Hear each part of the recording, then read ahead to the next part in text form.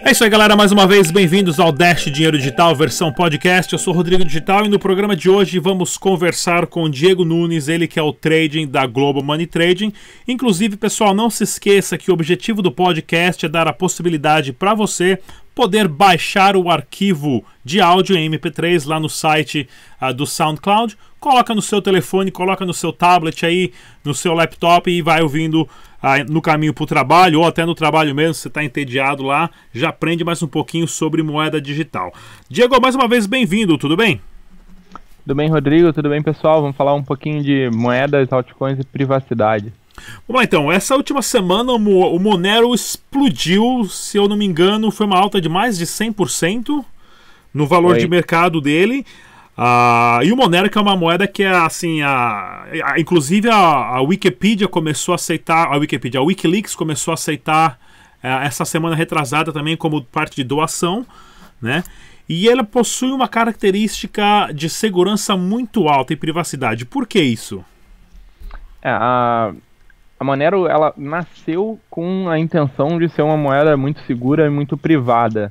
Então ela tem algumas características que são não necessariamente únicas, mas a junção de todas elas em uma moeda por padrão é única. A gente não tem nenhuma outra moeda que junte essas características por padrão, né?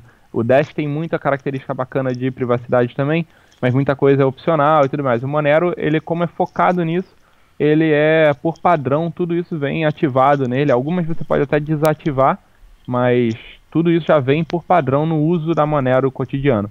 Então, uma coisa legal, por exemplo, e que é bem raro, é que a blockchain da Monero é, não é pública como as outras, né? A Monero, você não consegue analisar todas as carteiras e a quantidade de Monero que tem em cada uma delas, o que é uma coisa bem diferente do que a gente está acostumado a ver.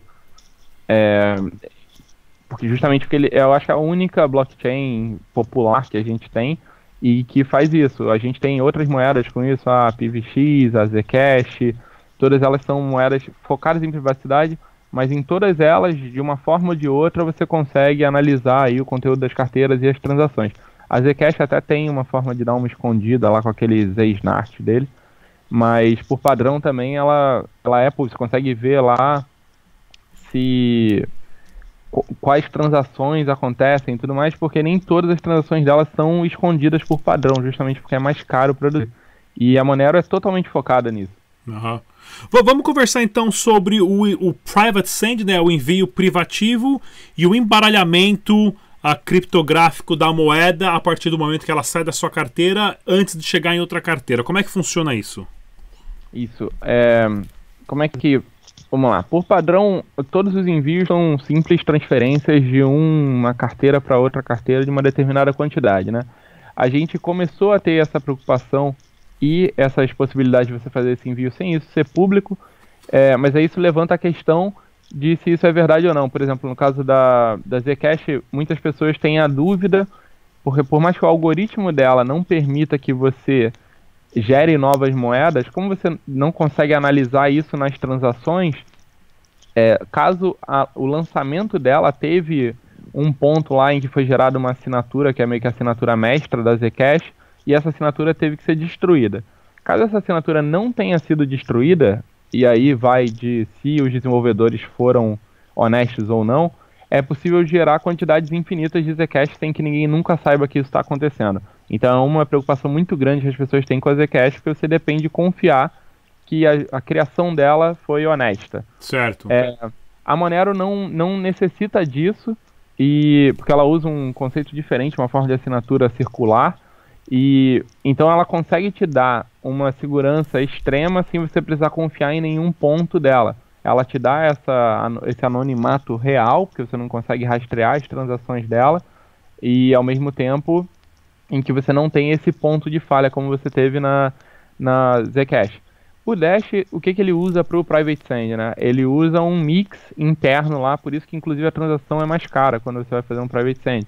Porque o Dash faz o que os, os Bitcoins Tumblers, os Bitcoins Mixers fazem. Ele faz uma série de transações ali, mistura algumas moedas, para que fique ambíguo qual moeda é de onde. Você ganha uma negação plausível, que se chama.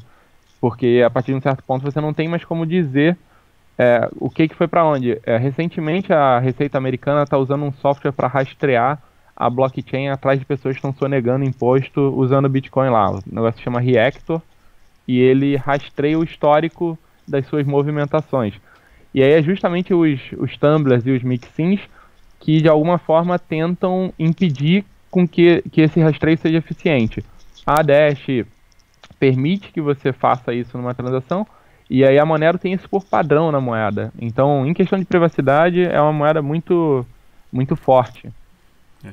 E então, inclusive você comentou antes da gente começar a gravar que foi essa uma das notícias que saiu ah, que o governo americano comprou esse, esse sistema de rastrear o blockchain e por isso que o preço do Monero deu uma disparada absurdamente porque houve uma grande migração de pessoas ah, ah, de outras moedas para o Monero. É, eu acho que o, o, principal fator, na verdade, foi a, a adição dela no Bitstamp, que é a maior. Correto é, também. Da Coreia. E inclusive na Coreia, que é um mercado que se preocupa mais com privacidade, por causa das questões governamentais todas dele. Então acho que isso deu o, o boost principal. Mas ao mesmo tempo que a Monero subiu muito, a gente teve uma alta bem forte da Dash e da Zcash também, sem nenhuma notícia. A Dash teve a questão do, da, da conferência que vai ter em setembro e uns potenciais anúncios importantes para a moeda, mas a Zcash foi na onda. E aparentemente essa onda foi gerada porque chamou atenção para isso. Muito investidor é, que está preocupado com isso é, não necessariamente está querendo esconder a aplicação financeira atual ou qualquer coisa assim, mas está preocupado de em algum momento no futuro acabar sendo alvo de investigação.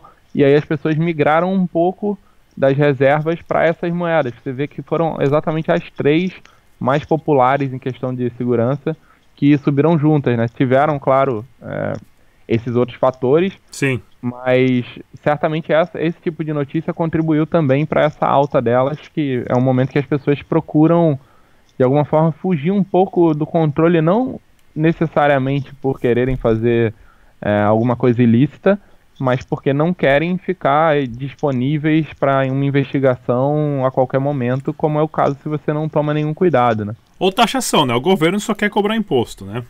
É, você vê esses casos que ele está tentando pegar os dados de todos os usuários, assim, uma quantidade enorme de informações, inclusive informações que não deveriam ser relevantes para a investigação deles. Estão tentando pegar de várias exchanges, da Coinbase é o caso icônico aí que ela está se recusando a passar. Sim. Mas se ela passar esses dados, a partir do ponto em que o governo sabe que aquela carteira ali era sua, ele consegue rastrear as suas transações na blockchain acima e inclusive para frente, né, para onde você enviou dinheiro e de onde chegou o seu dinheiro, e aí ele começa a formar um panorama maior das transações e consegue rastrear mais o que, que as pessoas fizeram.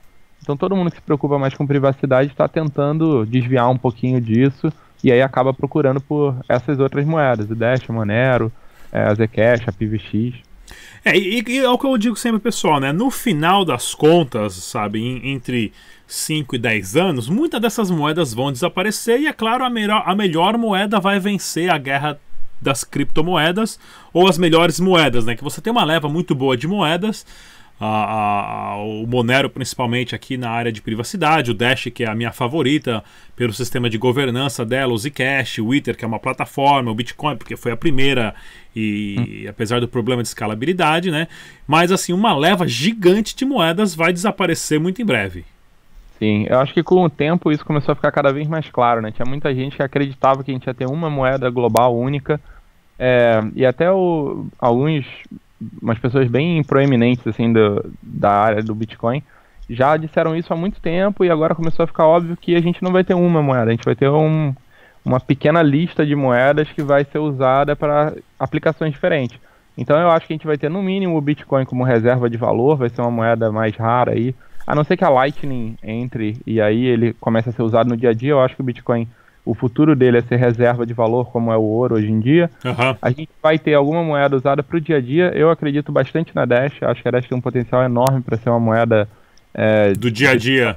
Área mesmo, é, que as pessoas vão usar para pagar. Não, você não vai pagar em Bitcoin, provavelmente você vai pagar em alguma outra. Eu acho que o Dash tem um potencial muito grande para ser essa moeda.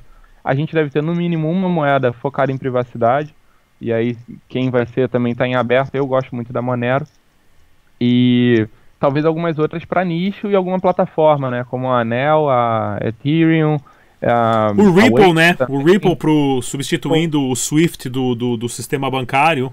Isso, a gente tem. Eu, eu acredito realmente que essas moedas mais focadas em uma área específica tem mais chance de ter futuro. Aí qual delas que está competindo nessa uhum. área? A gente tem, por exemplo, a gente falou agora há pouco do, do Algo, que é, tem lá a plataformazinha dele de tentativa de você poder apostar em qualquer coisa, né?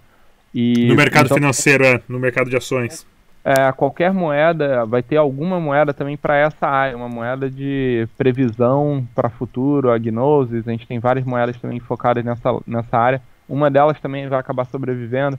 A gente vai ter pelo menos uma de cada tipo, eu acho que a Monero tem um potencial muito grande para ser a moeda de privacidade.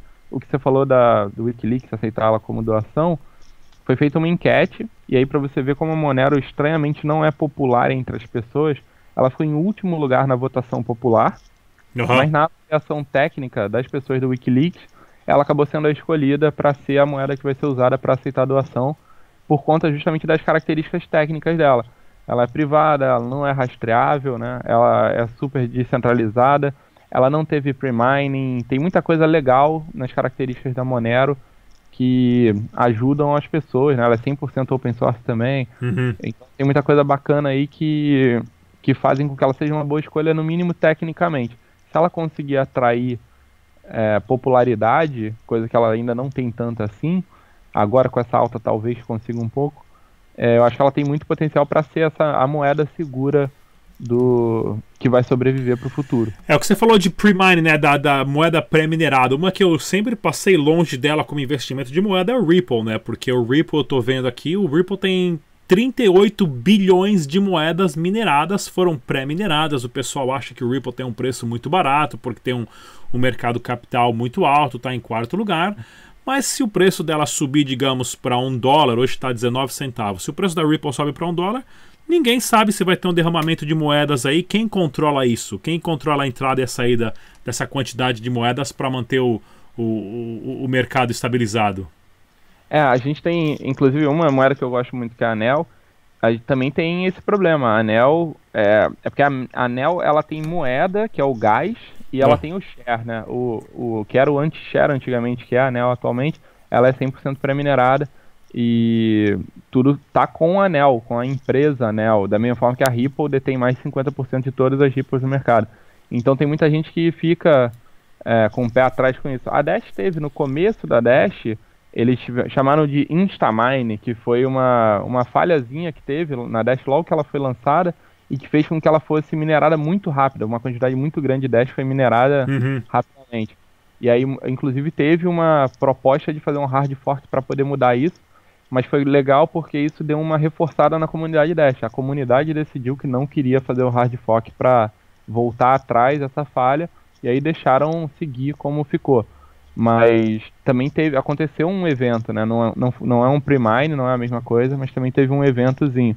Até o, o pessoal que não gosta da Dash fala dessas características, Sim. mas eu, pelo contrário, vejo é, isso como uma forma que reforçou a comunidade ali que acompanha e que toma as decisões na Dash. Foi uma decisão conjunta e que acabou unindo mais a comunidade Dash. É, no caso desse aí, até as críticas que o pessoal sempre fala é que, se eu não me engano, tem acho que uma pessoa na Dash que tem 400 masternode, uma outra tem 200 masternode, ou seja, o masternode você tem que ter mil dashes para você poder ganhar em cima dele, né? E uhum. houve notícias que essas pessoas acabaram vendendo esses masternode há um tempo atrás e tudo mais, mas ninguém sabe, né? Mas to toda moeda tem os seus altos e baixos. E mas o, o, o que mais me atraiu na Dash mesmo foi esse sistema de votação quando no ano passado teve a votação, é, na verdade foi proposto é, em aumentar o, o tamanho do bloco, né, pra, da, da, da Dash, se eu não me engano, para 1 megabyte. E a votação durou 24 horas e os masternodes aprovaram e pronto. E o que o Bitcoin está brigando há 3 anos e não foi decidido ainda.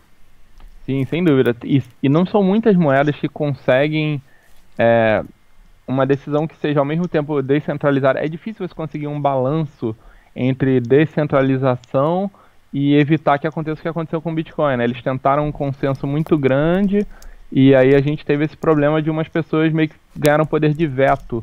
Como a gente teve lá o SegWit, tinha que ter 95% do, dos mineradores, qualquer pool de mineração que tivesse 5% ou mais ganhou um poder de veto ali e aí nunca iria para frente. Sim. Então, o, o Dash tem um modelo interessante. As pessoas reclamaram dessa coisa da, da mineração no começo, mas eu acho que é uma, uma questão pequena perto de todas as características bacanas que, que a Dash tem. É, a Monero, por outro lado, não teve nenhum incidente desse tipo, mas nunca ganhou a popularidade e eu acho que não tem uma comunidade forte o bastante para virar uma moeda do dia a dia como é, a Dash tem esse potencial. Uhum. Que também é uma, é uma coisa super importante para você ter, que é o apoio popular, assim, é ser conhecida para poder ser a, a, adotada em massa. Em massa. É isso aí, galera. Mais um podcast aqui super interessante com o Diego Nunes, ele que é o trader oficial da Global Money Trade. Inclusive, eu sempre deixo o link uh, da página deles uh, do Facebook, inclusive a entrevista com a sócio proprietária, que é a Carol, a Cripto Carol, também está na nossa página. Diego, mais uma vez, muito obrigado e até o próximo podcast. Falou, pessoal. Até logo. Até a próxima. Você pode apoiar o nosso canal simplesmente curtindo, seguindo e também compartilhando os nossos vídeos. Siga a Dash Dinheiro Digital também no Facebook, Twitter, Instagram, o nosso podcast no SoundCloud e também no Steemit. Temos um grupo no Telegram e também no WhatsApp, a descrição está no link abaixo. Você também pode apoiar o canal Dash Dinheiro Digital financeiramente usando o código QR no final deste vídeo. E não perca também os outros vídeos que temos disponível na nossa página. Mais uma vez eu sou Rodrigo Digital, muito obrigado, até a próxima!